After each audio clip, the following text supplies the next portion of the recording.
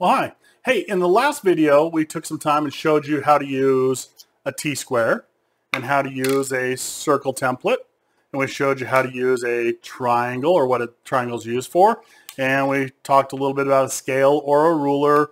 Um, did I say compass yet? Showed you a compass. So these are our basic drafting tools. And so what we're going to do now is we're going to come in and see if we can um, show you how to set up a drawing. And we're going to do this on every drawing. Uh, it's the way we it's the way we set up to use the tools correctly. It's also the way we lay out a drawing so it can be read or interpreted by somebody else without them having to figure out from scratch every time. So the first thing we're going to do is we're going to get all our tools out and we're going to sit down at a drafting board, which I have here. Um, and so unfortunately, my drafting board, let me see if I can zoom out a little bit for you. There we go. So you see the head of the T-square is up against the edge of the table. I might even be able to go back a little more. Let's try. Let me try reducing this. There we go. Okay, so now we're good. That'll work better. Okay, so to set up my first drafting assignment, uh, I have my pencil here. It's good and sharp. I have about an inch to an inch and a half of uh, masking tape. I'm using blue tape because I don't have any masking tape at home. But at school, we usually use just uh, masking tape. And again, uh, I will put some gloves on and come around and give every uh, desk a piece of masking tape to use, okay? All right, so uh, to get started, I'm going to take the head of my T-square to make sure it's all the way up against the edge of the board. I'm going to bring it down close to me, and then I'm going to set that piece of paper right on top of the T-square. Then I'm going to come up into this corner here, and I'm going to give it a little piece of tape, okay? And make sure that tape lays down perfectly flat, because when I slide the T-square over it, if it's not flat, this isn't going to work. So what I'm going to do now is I'm going to make sure that the bottom of the paper, and you'll probably see my head stick into the camera view here. So I got my paper and my T-square parallel. So I'm going to tape this down. And then I'm going to slide my T-square up here. And I'm going to run it down. And what I'm looking at is the amount of paper I see across there. As I get it closer and closer, I should see the same amount of white uh, and when I get right to the edge of the paper, guess what? It's perfect. So now I'm going to take the rest of my tape and I'm going to stick it down to the corner here and to the corner here. So I now have four pieces of tape uh, and my paper is now parallel to my T-square. We call this act of taping a piece of paper down squaring up a piece of paper. And what that means is we have squared the paper to the uh, to the t-square so that they are both parallel to each other. And the name of that is called squaring up a piece of paper. All right, so the next thing we're going to do is we're going to come in here, we're going to put a border all the way around the paper like a frame, almost like a picture frame. Uh, we call them borders in drafting. So I'm going to measure in a half inch on this side. I'm going to measure in a half inch on this side. From the bottom, I'm going to measure up a half inch. And from the top, I'm going to measure down a half inch. And so I don't know if you can see, I put four little marks. This one's pretty noticeable. I put four little marks there, and that now allows me to take my T-square. I'm going to zoom back in just a skosh, um, maybe a little more than that, because you don't need to see the head of the T-square, right? So somewhere in, let's see, is that better? Too far? Good? Let me see. Okay, so I'm going to come down to my mark that I just measured in, and as long as I'm pulling the head of the T-square up against the table and I put my hand down to hold it, I can draw a straight horizontal line. And you can see that there. So then I'm going to go up to the top of my paper and I'm going to put this right on my mark. And you can see the mark right there. Okay. And I'm going to draw a straight horizontal line across the top.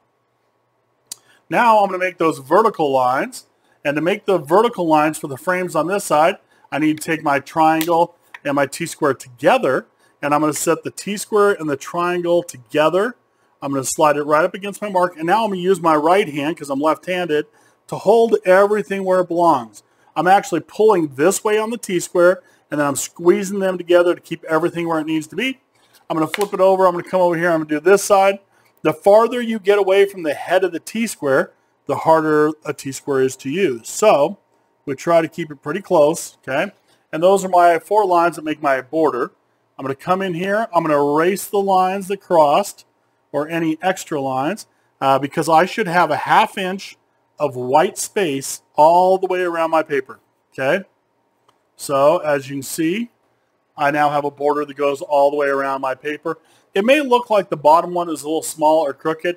I think that's just the way the camera is sitting. So I think we're still okay. All right, so step one, square up a piece of paper and tape it down. Step two, put on a half inch border.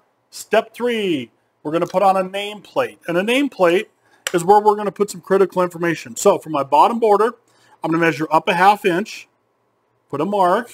I'm to move that out of the way again. I'm going to put my T-square on that mark. I'm to come all the way across. And then I'm going to divide that into four spaces. So I'm going to put a pretty long box right here. It's pretty long. And then I'm going to do a shorter box. And then I'm going to do a shorter box. And then I have a longer box. So in this first box, I am going to print using all capitals my first and last name. Okay? And we use all capitals because it's easy to read uh, and it looks nicer. Um, we, we can teach you lettering, but it's very time consuming. We have short trimesters and quarters here. So we're just going to teach it. If you use all caps, you'll be pretty good. So the first box, you're going to put your name.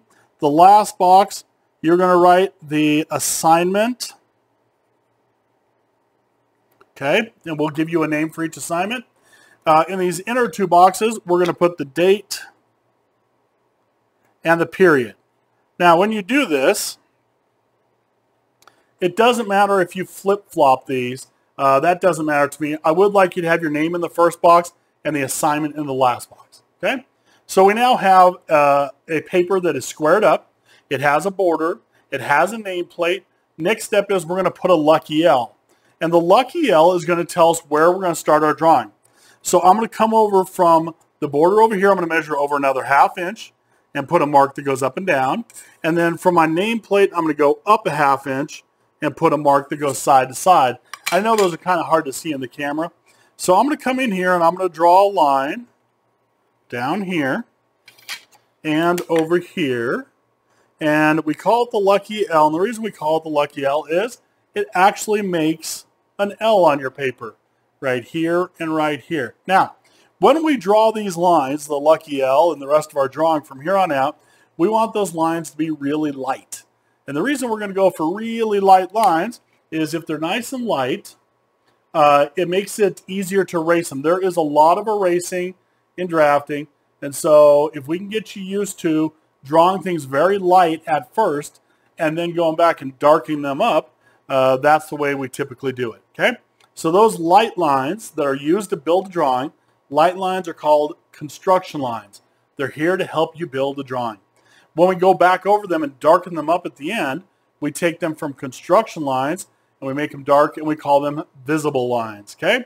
So uh, at this point, uh, we have a border, we have a nameplate, we have a lucky L.